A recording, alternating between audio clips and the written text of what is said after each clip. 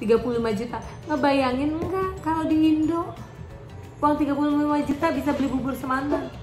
Seempang ya kan? Welcome to our channel.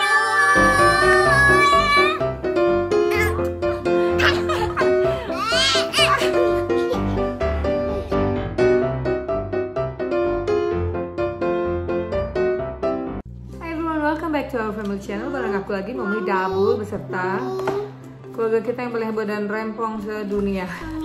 But I love all my rempong family. Yeah, that's okay. Cause it stick on the paper, that's why It's a bit break, but it's okay. Look, it's yummy, yummy, yummy, yummy. Um, Mudah-mudahan kalian semua dalam keadaan baik, bahagia, dan sehat ya. Pastinya kita semua cuma butuh itu untuk saat ini ya kan Dalam keadaan yang carut-marut di seluruh dunia em. Nah, kita ngobrol-ngobrol bareng yuk tentang apa sih suami bule, pacar bule, keluarga bule. Rempong banget gak sih dengarnya ya kan? Anyway, yes. Tapi however, aku adalah uh, keluarga berkeluarga bule. Anak-anakku adalah setengah bule. Mau tahu gimana ceritanya uh, dengan label bule? Risih nggak sih? Seneng nggak sih? Apa yang mama-mama di rumah itu semua punya di kepala dan di hati tentang kata bule yang menempel, dicap, ditempel, dilabelkan kepada kita. Kita ngobrol di komen bawah ya. Dan yang belum subscribe, just ikutan subscribe. Yes, Jacob, can you tell everyone say hello dulu? And what's your name? Anyway, jadi gini ya, yuk kita cerita-cerita. Dulu di zaman Mama Dabul itu pacaran sama Dabul ya. Dabul itu kan orang Inggris dan yang putih banget bener putih ya. Em, namanya kita di Jakarta. Populasi bule itu kan nggak sebanyak bule di Bali. Terus nggak sebanyak di negara-negara uh, Asia modern, Asia maju, negara maju dan modern lainnya. Contohnya di Bangkok, di Thailand ya di Bangkoknya ataupun di pulau-pulaunya itu banyak banget bule. Di Singapura tuh banyak banget pokoknya yang begitu lah ya modelnya. Mami Dabul kalau ngeliat yang di Jakarta tuh yakin itu nggak banyak walaupun Mami Dabul pernah kerja di bar bule gitu ya. Nah jadi ceritanya gini, em, dulu ketika Mami Dabul baru PDKT yes, eh, TTM teman tapi mesum apa teman tapi mesra? eh positif positif aja ya. Jadi gini dulu ketika Mami Dabul masih pacaran kita tuh kita tuh eh, berawal dari teman ya. Kita tuh berawal dari yang kita suka ngobrol telepon teleponan apa segala. Nggak ada cium atau apa dalam waktu 10 bulan ya kayaknya kalau nggak salah. Setelah 10 bulan Dabul nganterin Mami Dabul pulang ke rumah Mami Dabul cium pipinya ya kan? Nah, kayak anak kayak anak sekolah gitu kesannya. Padahal udah weird say anyway eh, mulailah kita ketemu tapi ketemu Dabul tuh nggak sering. Kayak misalnya sebulan sekali itu kemungkinan ya dua minggu sekali. Seminggu sekali itu jarang banget super jarang karena Dabul itu sibuk. Jadi intinya gini pada saat itu Mami Dabul itu karena pernah patah hati hati yang super super hancur Mami Dabul tuh bukan tipe orang yang mau cari uh, pacar atau mau cari suami gitu. Jadi ya udahlah berteman aja santai aja ngobrol aja gitu ya. Terus uh, tapi di kepala mau Dabul nggak pernah ada kepikiran gini. Bule dia tuh bule pacar gue nih bule. Nggak ada di kepala kayak gitu. Jadi buat teman-teman di sana di luar sana yang di rumah ataupun di kantor ataupun di mana pun yang masih jomblo dan kepingin punya pasangan bule gini ya mau Dabul kasih tahu.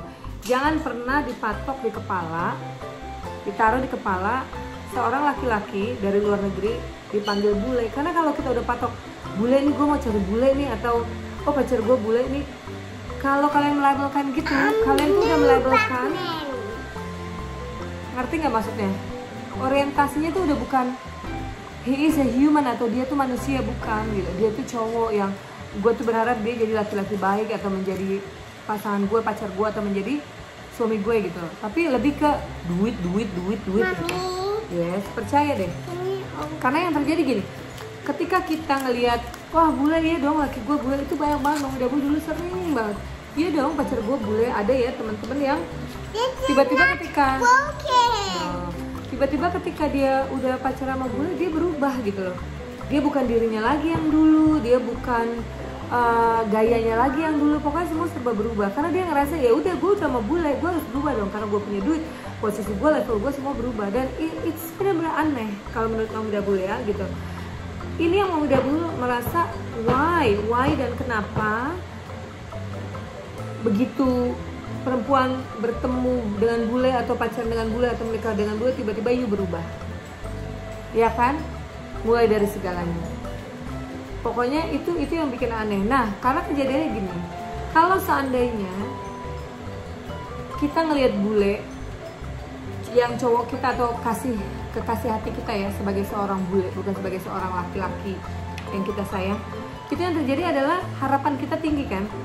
Ya itu tadi secara material duit duit duit dan duit. Ah gue bakal jadi kaya nih selain dia ganteng ya kan? Memperbaiki keturunan nih tapi gue bakal banyak duit hidup gue enak bla bla tapi wake up. Nggak semua bule itu kaya nggak semua bule itu tajir gitu karena yang terjadi adalah gini ya banyak banget banyak banget pasangan bahkan yang belum pindah ke negara si pasangan bulenya ini ya. Cuma tinggal di negara kita lah di di kota kita masing-masing lah. Misalnya di Jakarta di Bali atau di mana pun bye bye you want to go? Oke okay. ternyata oh ih kok pelit sih gitu. Ih bule gue mah ini pelit. Ih bule gue mah ini nggak punya duit. Bule gue mah ini kere gitu. Karena pada kenyataannya memang yang kita kira bule itu duitnya banyak itu nggak banyak gitu loh. Jadi perbedaannya adalah cuman satu bule itu udah menang cakep kalau di negara kita ya kan? Namanya kita tuh selalu melihat bule wah pokoknya serba wah. Kedua semiskin apa pun bule kalau mereka udah bisa liburan ke Indonesia berarti mereka punya duit ya kan? Gitu.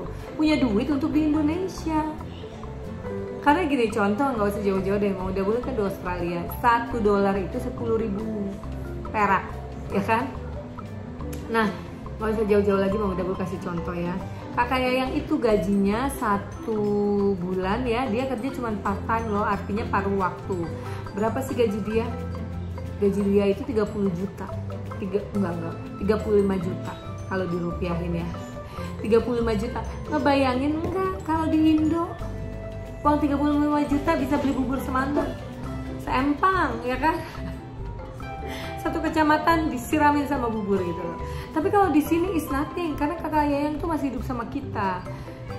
Masih tinggal di dalam rumah. Yang kita selalu bilang kak tabung uangnya supaya kamu bisa liburan merencanakan hidup di masa depan beli rumah apa segala yang gitu-gitu. Ya kan? Nah misalnya nih kakak Yayang ya seorang kakak Yayang baru umur 21 dia nabung lah katakan 500 dolar per bulan. Itu di luar kebutuhan ya. 500 dolar untuk liburannya aja. Berarti dikali 12 bulan itu 6000 dolar artinya 60 juta. Dia foya-foya dalam waktu satu bulan di Jakarta aduh itu bisa dapat apa? Nah intinya gitu bisa jajan bisa nginep di hotel ya kan? Dengan uang 60 juta untuk liburan satu bulan bisa dong nginep di hotel yang bagus makan yang enak apa segala untuk anak seusia yang gitu loh. Artinya gini tapi ketika dia selesai liburan ya dia harus balik lagi dong ke Sydney ke Australia ke negara awalnya. Negara tempat tinggal kakak ibaratnya gitu ya kan. Kembali kerja lagi kembali dan you know semua dikerjain sendiri juga. Bersih bersih ngurusin rumah ngurusin kerja nyetir semua sendiri gitu loh. Tapi apakah dengan contoh ya dengan 35 juta uang dari si kakak yang ini yang kerja part time berarti kalau full ya gajinya full itu 70 juta. Apakah itu cukup? Itu nggak cukup. Ya kalau mau dicukup-cukupin pasti cukup lah ya gitu. Yang penting gini kalau misalnya kita sebagai perempuan ngelihat laki-laki itu ya sebagai laki-laki bukan sebagai bule dengan gaji 70 juta di Sydney di Australia ya cukup aja. Cukup untuk bayar kontrakan, cukup untuk bayar makan, cukup untuk berbahagia, artinya cukup. Nah, tapi kan yang salah adalah ketika perempuan-perempuannya itu adalah yang wah ngeliat bule gue ini udah pasti tajir, gue udah pasti kaya, gue udah bule. Ah, luar biasa. Nah, begitu kewong em kawin tinggallah di negara suaminya Australia ya kan dengan gaji segitu ya udah. Nyesek lu ibarat makan batu ada di sini say. Ya kan? Nah itu itu intinya itu intinya yang mau Dabul mau uh, kirim pesan ya lihatlah laki-laki sebagai laki-laki dengan sisi baiknya dengan sisi positifnya dengan sisi kasih sayangnya. Jangan tuh ngeliatnya bule ah ini bule tau bule. No. Karena gini ya jatuhnya ya dari dulu tuh mau muda selalu berpikir gini gue nggak mau menganggap laki gue ini bule. Dulu kan sering ditanya laki lu bule nggak? No. Mau muda tuh paling nggak suka kalau dipanggil dia bule no dia adalah laki-laki yang bertanggung jawab yang baik hatinya yang rajin bekerja yang sayang keluarga gue yang sayang keluarga gue dan sayang gue. Itu. Itu banget. Dan makanya ketika mau Dabul hidupnya turun naik turun naik turun naik tuh nikmat aja rasanya. Karena memang dari awal mau Dabul itu nggak yang bule duitnya banyak gajinya gede. Nah itu. Karena pada akhirnya adalah ketika perempuan-perempuan yang melihat pokoknya bule mau tua mau muda pokoknya bule. Dipikir ya hidup gue bakal enak deh. No kebahagiaan itu bukan cuma dari duit say. Bukan. Kebahagiaan itu semuanya. Kita susah berjuang bersama itu bahagia. Kita sedih berjuang bersama itu bahagia. Pokoknya itu bukan dari duit. Duit itu kalau laki kita atau si bule ini rajin bekerja dan punya kerja ya itu udah pasti duit udah pasti ngikutin. Kecil besarnya artinya udah ada rezekinya gitu loh. Ya pokoknya itu tips banget dari Mami Dabul untuk para para junior yang masih mencari jodoh dari seorang bule ya kan? Intinya gitu. Stop melabelkan mereka sebagai bule. Labelkanlah mereka sebagai laki-laki yang baik hati bertanggung jawab rajin bekerja, yang penuh kasih sayang, yang siap um, menyayangi kita, meluk after kita, membina rumah tangga bersama, saling menghargai, menghormati itu yang penting. Karena bener ya, ini asal tahu aja ya. Karena harapannya dengan kenyataannya beda dari pertama ketemu sampai menjalankan relationship sampai menikah. Tadinya misalnya tinggal di Asia terus tiba-tiba balik ke negara asalnya suami banyak terjadi pertengkaran, banyak terjadi oh, kegilaan kegilaan gitu ya. Banyak yang harus ketemu psikologis atau psikiatrik karena udah jadi gila gitu loh. Karena nggak bisa nerima. Kok harapan gue nggak sesuai kenyataan gitu. Nah jangan sampai itu terjadi. Karena separoh ada yang menjadi gila. Gilanya bukan gila banget ya. Artinya ya gitu sedih lah ya, sedih dan marah karena nggak sesuai. Ada juga yang akhirnya sampai cerai. Gitu. Makanya make sure tahu dulu siapa sih laki-laki ini yang kita panggil bule dan jangan lagi dilabelkan sebagai bule karena kita berjuang bersama untuk jadi sukses dalam rumah tangga, untuk menjadi kaya bersama, untuk menjadi bahagia bersama, untuk menjadi ngajar goal kita semua itu kita lakukan bersama. Oke? Okay? Bergebu-gebu menggebu-gebu banget ya kok bergebu-gebu abis sering-sering mau udah bulu tuh sebel kalau orang baru mau kenal udah langsung ih laler ya pokoknya gue mau cari bule dia tuh bule gue tuh udah bule gue udah kaya eh capcay kan forget it oke okay? So sampai di sini dulu video kita. Thank you guys for watching and dengerin ini ya. Kupingnya jangan panas em. See you again in the next video pastinya. Stay safe, stay home to save life. Love you all. Bye bye. Thank you for watching.